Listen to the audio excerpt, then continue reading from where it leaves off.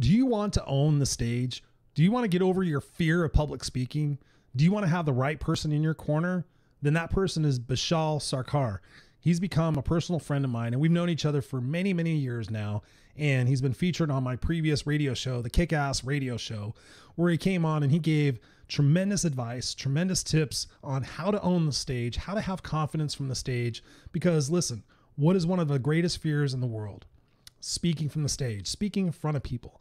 When you work with Bishal, you get confidence, you get clarity, you get professionalism, you get honesty, you get transparency. The guy is a dynamo. He is amazing. He's become a personal friend of mine, a mentor of mine. And I will tell you this as the kick ass guy, as a guy who's, you know, teaching people about unstoppable confidence, Bishal is one of the few guys I can count on to tell me the truth.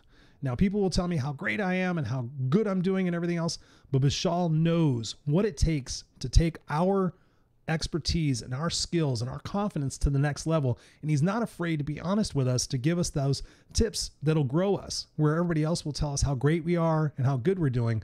Bishal is the person that's going to be in your corner, coaching you and guiding you to the success and the excellence that you deserve.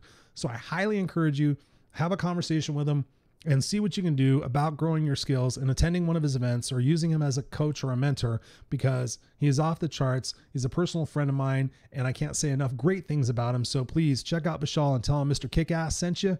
Love you guys. Peace out.